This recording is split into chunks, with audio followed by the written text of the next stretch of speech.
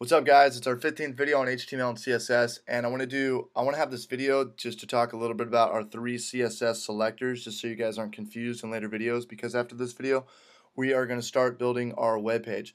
So remember the first selector that we talked about which does not have a hashtag or a period in front of it. Now if it does not have a hashtag or a period it refers to everything on that page. So remember like in our seventh video when we made an unordered list and an ordered list and it kept showing up with uh, like bullets on the left hand side or, or numbers you know for every list item it'd go like one two three.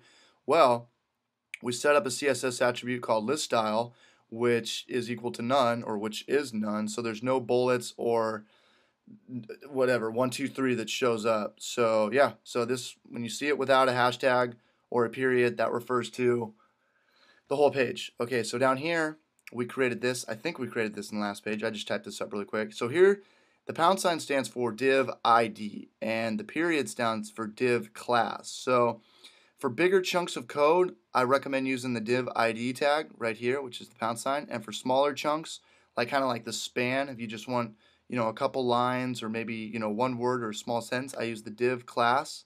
So to source this, back in our HTML page, we use uh, div ID and to source this we use div class. So I'll go to our HTML page and here's exactly what we did. So for our div ID, here's our pound sign and we, we titled it text and we closed it out right here. And within that we want to do, we just want to change computer programming to a, got a little piece of spit on the. We, um, where we, okay, so we just wanted to change computer programming to a different color than we did for text. So in Word, for the CSS attribute on our CSS page, I titled Word. What did I title Word?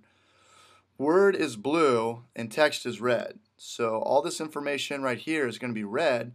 And then in here, just the computer programming is going to be blue. Because we closed our div right here, and that's where it ends. So anything outside of our div class of Word is going to resort back to its parent CSS file, which is the div ID of text. This will make more sense in more videos to come. Just pause the video, look at it a little bit if, you, if it doesn't make sense, but everything should check out. And uh, so I'm going to go back to my browser now, and I'm going to refresh it, and that's what it looks like. So, okay, we have three types of selectors. These that don't refer to, that refer to the whole page right here, and uh, our our div ID right here, which refers, which we're going to use for bigger chunks of code and text, and then our div class, which is uh, which we're going to use for smaller text or whatever, smaller things, div class. I'm i this is like the 20th time I've tried to make this video. I'm just going to put it live. If it doesn't if it doesn't make sense, give me a question or a comment and I'll be sure I'll get back to you.